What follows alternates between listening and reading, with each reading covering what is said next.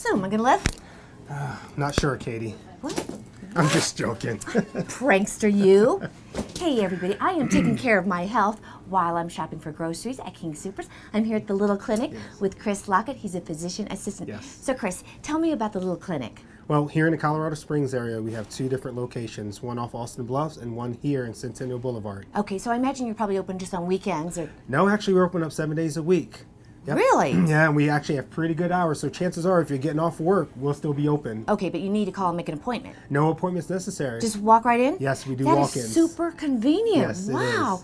Now, I know there are lots of services you offer, and one of the really popular ones are the back to school Yes. sports physicals for kids. Yes. So, what do those involve? well, of course, the physical itself, Mm-hmm. and pretty much anything you'll get at your pediatrician, even immunizations if needed. Okay, that's terrific. Now, what are some of the other, uh, besides physical, services that you offer? Uh, we do earaches, we can do common colds, seasonal allergies. Mm-hmm. Can you take care of me? I can. Okay, I'm in the right place. Yes, you Fabulous. are. Okay, We do urinary tract infections and anything else that's non-life threatening. all right. Now, even if people are obese or they have hypertension, there are registered dietitians on staff that can help folks out. Yes, we there's a hotline you can call, and also each clinic has cards that we can give you. Wow, so you really take care of everything, don't We you? We try, Katie. All right, so if you guys get sick and need to go to the doctor but can't, that's no problem. Just come into the little clinic at King Soopers.